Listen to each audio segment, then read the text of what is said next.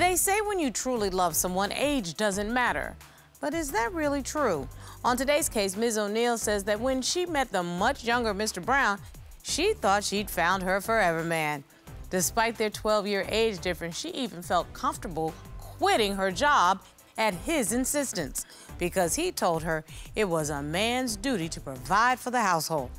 Today, she says his immature ways have come into play and she's too old for these games.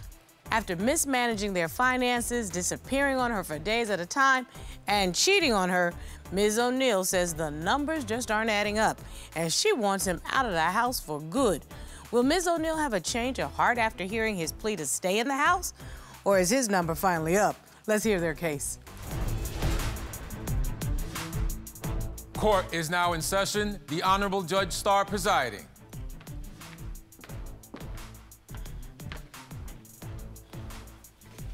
Your Honor, this is the case of O'Neal versus Brown. Thank you.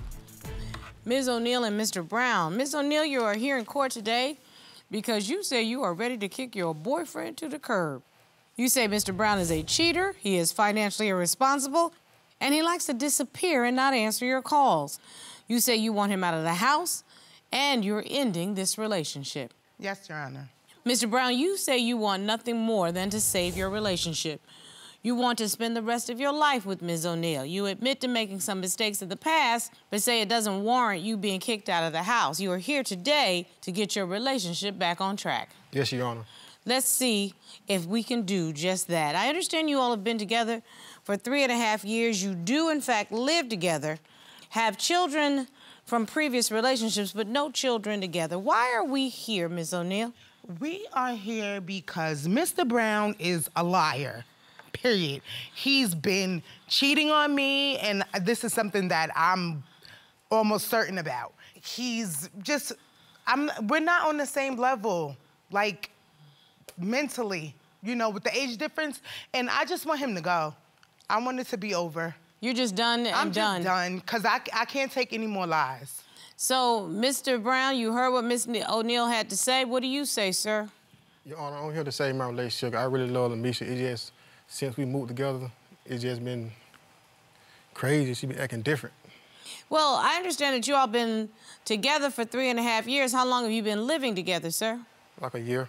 A year. So yeah. in this past year is where you say the relationship has changed? No, it, it changed. We moved together. When we, when we wasn't together, she was, you know what I'm saying, it was like, I come and see her, it was all good, but she would want me to come over. I, I felt like the controlling would start coming in once you started living together? Yes. Well, let's just go back to this because, Ms. O'Neal, as I understand it, at the foundation of the problems is the financial strain that this relationship has been under. Absolutely, Judge. Why don't you start with that? The the strain is is that Mr. Mr. Brown insists that he works and I don't work. Like I don't have a problem with working because I want to know what money is coming in and how much money is coming in. So Mr. Brown works and I don't work, but I don't ever see a check. I don't ever see a pay stub. I don't know how much money he's bringing in. But wait a minute, why why don't you work? I don't understand because because you're 45 years old, correct? Yes, and, ma'am. And did you have a job before you met this man? Yes, ma'am. Don't you want to have control over your own finances? Absolutely. Absolutely. And me not working is just to cut down on the arguments and the confusion in our relationship. But I'm planning on going back to work, like real soon. Like it's the like it's the controlling with finances. Like I'm not allowed to make my own money, so then I can't do what I want to do with my money. So, Mr. Brown, why would you want your girlfriend to quit her job? I can take care of her and the bills. Fair enough. But you rolling like that, what do you do? Are you a doctor, lawyer, no, educator? What'd you do? No, I work, uh, I work in a White House full time. He told me to quit my job and that he would provide for me. He, yeah, that was his request. that he wants me to. He don't want me to work. At work. She she always call on my phone, text me, think I'm not at work. She got it's track the other on my way phone. around, Your Honor. But wait a minute, Mr. Brown. I'm I'm going to get back to the fact that you have children. Are they school-age children, meaning under 18? I do have a temp job. Okay, but so I just wanted to say, Mr. Brown, that requires money. And so you're trying to take care of a grown woman in your house, plus children and yourself, but you're not working in a job that's going to pay a significant amount of money. I was raised by my grandfather, so he always took care of my grandmother, so that's why I feel like when I get older, I can take care of my I understand that because, you know, my grandfather, actually, my grandfather worked um, at a plant also, and he raised nine daughters with my grandmother, but they were also married for 60 some odd years. That's a little bit different. But he also worked around the clock. He worked every shift there was, 8 to 4, 4 to 11, and the graveyard shift, as we used to call it. That's how you hold it down. So, Your Honor? So you see what I'm saying? Your Is that the kind of work that you're doing? Yes, ma'am. No, Your Honor. Okay, Miss O'Neal, So, Your Honor, th- the issue is now that we moved to a place that's a rural area, right? Like, we're, we live three miles from town.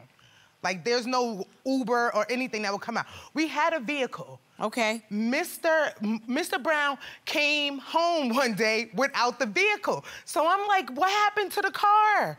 He tells me that the car got repossessed. Your Honor, come to find out that the car is in another woman's name and the woman wanted her car back. Your Honor, she's crazy. See? She's crazy. If I would told her the truth, she would be acting all wild. She would go try to jump on the lady. Wait a minute, what, was there a different story? Wait, is there something worse than the truth than what she just said? That's the truth. And That's he truth, couldn't Your tell me that because I I'm couldn't tell her crazy. because she's crazy. Like I said, I just want to have a way to get back and forth to work. Okay, I'm, I'm, a friend loaned me the money that she co-signed the car in her name. you were driving a car that was co-signed by another woman that is not your It's woman. my ex. My ex. I was driving the car also, Your Honor. Oh, I would have had a problem with that. I'm gonna tell you that right now. I was driving the car also, and I was giving him money because at the time that was before we moved in together. I'm telling you, there's a juror right behind your shoulder that she, I think she was about to pray for you. I In the think I red need dress, I think she was about to pray for you. She straight up did like like this, like, boy, if you, Your Honor, that's not all. there's more. One day he said he was going to work. So I went and I looked and see in the Google Maps, he's in a whole nother town that's on the all the way opposite direction of where he works at. One of my jurors' heads is about to explode right now. I, I'm looking at her. Her head is about to explode. He listening to Keith Sweat, and that's baby making music from where I came from.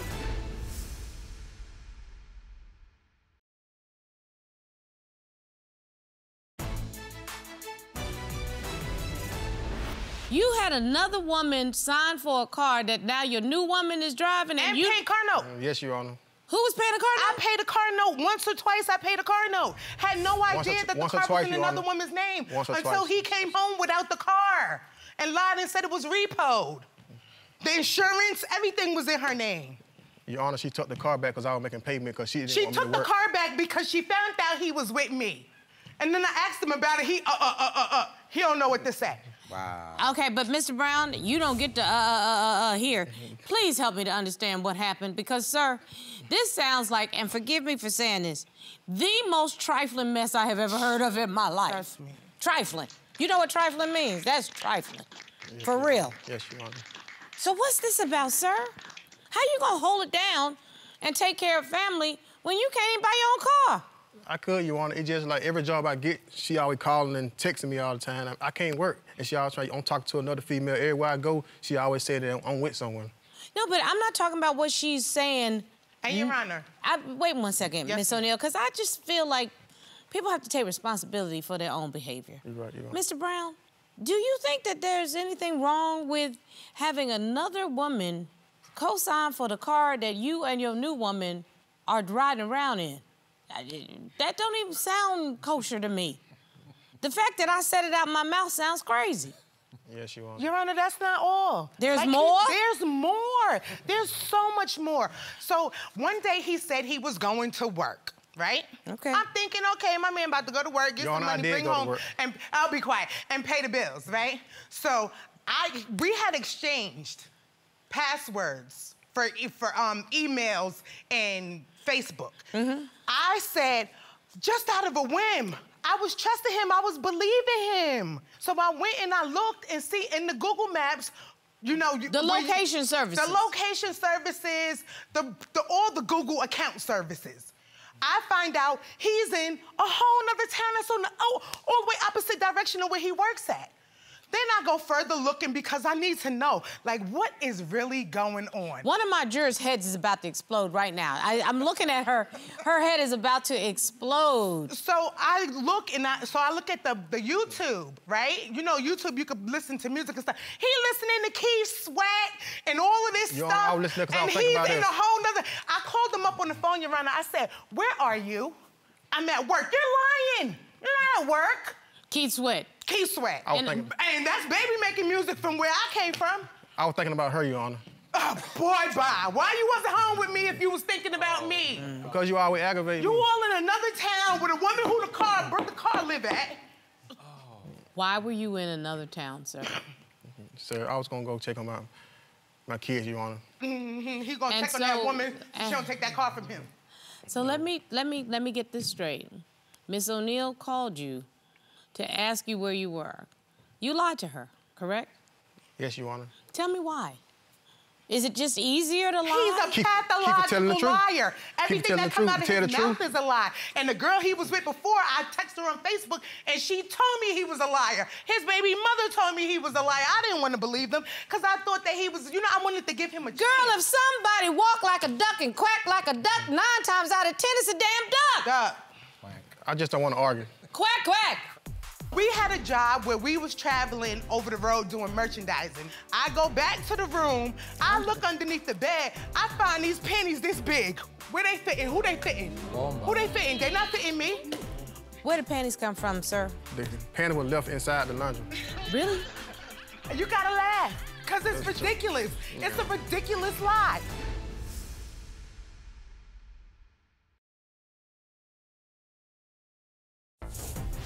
If you'd like your case to be heard on divorce court, call us toll free at 1 877 311 2222 or log on to our website at divorcecourt.com. Missed a show? Watch full episodes on our streaming platforms and follow us on social media for exclusive content. Your it ain't the end of everything with Mr. Brown. There's I more? Know that. There's more. Oh, Father, I can't take much. There's Your more. So we had a job where we was traveling over the road doing merchandising, right? And um, we stayed in a hotel. They put us up in a hotel, right? So uh, one night, you know, on payday, we decided we were both working. We decided we were gonna go to the movies. We come back from the movies. He wants to go somewhere. I said, "Where you going?" Um, I'm going to go look at a house. It's 10 o'clock at night, Your Honor. Your Honor, it was that morning. Who's 10 showing the morning, house Your Honor. at 10 o'clock at night? So I went to the bar. The hotel had a bar across the, across the street. I met my boss at the bar. We had a couple of drinks. I go back to the room. I now, you know, I just, I, I don't know what made me look underneath the bed. I look underneath the bed. I find these pennies this big. Where they fitting? Who they fitting? Bomba. Who they fitting? They not fitting me. Mr. Mr. Brown, where the pennies came from? Your Honor, I went to the laundromat to wash clothes.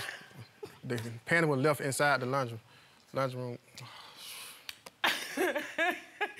That is a, you gotta laugh. Cause it's ridiculous. It's a ridiculous lie. Like you, the pen, only up I didn't even know the panty was in there. Boy, Bob.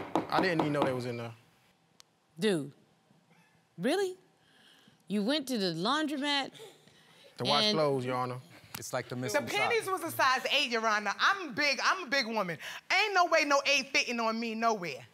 Where the panties come from, sir? The From the girl he was cheating with me I at wasn't work cheating, with, Your Honor. who I was wasn't smiling cheating. and laughing and all of that. Every time she seen them, who be sneaking around the corner at work when we at work, sneaking around the corner, and I see them sneaking around together. Mm-hmm. So, Mr. Brown, Miss O'Neal is making out a pretty good case that you are not trustworthy. At all.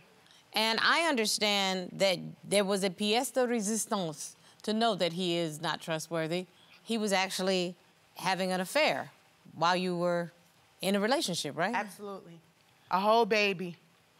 Your Honor, she had oh. someone else too. A whole baby. We were separated, Your Honor. You se- separated. You had nine months plus two years to tell me about this baby that you ain't never tell me about. And your honor, to top it off, last night I'm in a nail shop. This is new news. Getting my nails done. He on the phone with the with the baby mama. He he he. Your Honor, I Talking called do you check like on my, my- my haircut? little girl, I Your coulda- Honor. He, Mr. I, I, Brown but- but- don't- I don't I don't have nothing to say to Mr. Brown right now. I have everything to say to you. What in the world do you want with this loser? Judge Star, I believe that Mr. Brown has potential in his own Girl, way. he is If- a grown whole man. Obviously, he's not a grown man. But he's not your grown whole man. This is a whole human got- being who is a liar, a cheater, and a user. My is oldest that what you want? Ha- absolutely not. My oldest child is five years younger than Mr. Brown. And she don't like him for nothing in the world. Why do you think she don't like him for nothing in the world? I don't know, c- probably because she know more about him than I do. Probably But- because she sees Your Honor, what I don't even know going her dog on. like that. I beg your Oh, pardon? Boy, I don't know her Bob. dog He like tried to talk to my daughter first. That's the part that didn't. Okay, that's it. I got to pack my stuff up. There's a meme of my friend Viola Davis packing her stuff up and closing the book. And there's a reason that she does that because you know what? Nothing else that comes out of anybody's mouth is gonna make sense. Y'all can't make this make sense for me. It doesn't. no, it does not make sense. Your Honor, she very controlling. Controlling? Yes, she are. No, you need to put some control in. Your Honor, I came here to get answers, and obviously I'm not gonna get any. Your answers are clear and in your face. The best thing that ever happened to you is you don't have a child by this man. Thank God. Because you can pack up your pictures and your plants, get a job, and leave this fool. Your Honor, that's the issue. I want him out. I don't know how to go about it. We have a lease that we signed Why together. Why would you sign a lease? Your Honor, I signed the lease because I couldn't afford the rent by myself at the time. So I signed the lease with him thinking that we would go half on the rent and half on the bills. But Your you Honor, I do submitted realize the evidence. what? This lease was signed within the last month. So you knew all this stuff was going on We moved to a cheaper place. We moved because I, I came. I'm at, I'm not from Georgia where we live at. I'm from New York, and I came down here. You're from New York. Yes, ma'am. Robert, she is from New York where we are. Wow. Okay, now, Miss O'Neal, you and I are gonna have a conversation Yes, right ma'am. now. Look at me. Please do.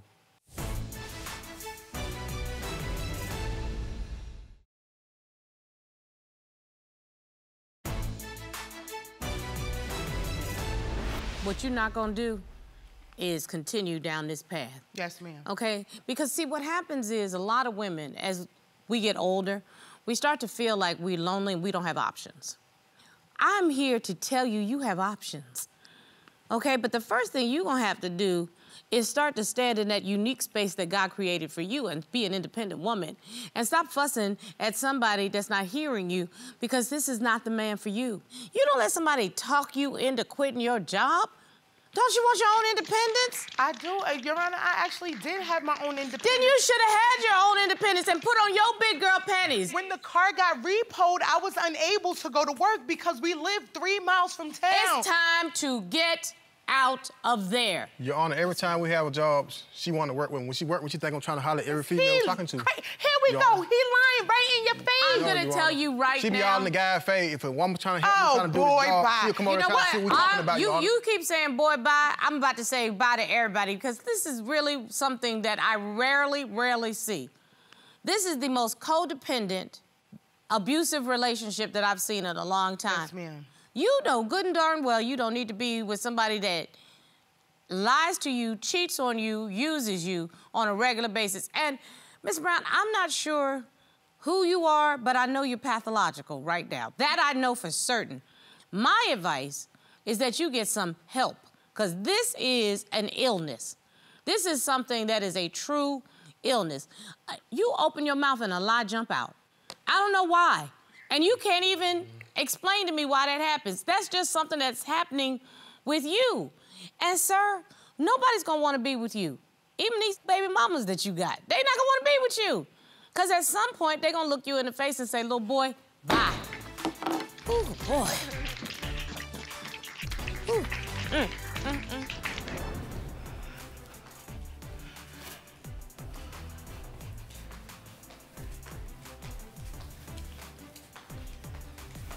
Robert, that was the most trifling case I think we've ever done. I'm still in shock of the amount of lies that just came out of his mouth. That was truly, and another thing, and another thing, and another thing. Who lies like that? Obviously, he does.